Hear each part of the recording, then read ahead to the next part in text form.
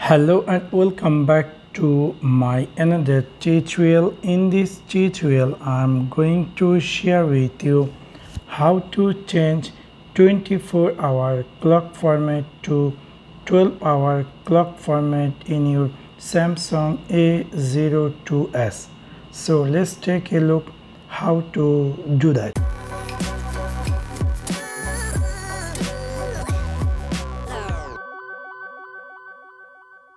You might be recently buy this Samsung A02s and you are wondering how to change 24 hour clock format to 12 hour clock format.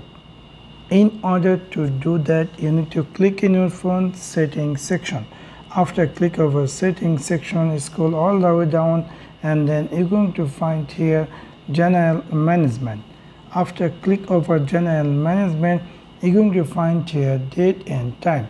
After click over date and time you're going to see something say use 24 hour clock format so we're going to turn this off. Now if i go back i will notice now my phone appear 12 hour format. So within this way you can easily change 24 hour clock format to 12 hour clock format in your samsung a02s so that's one now.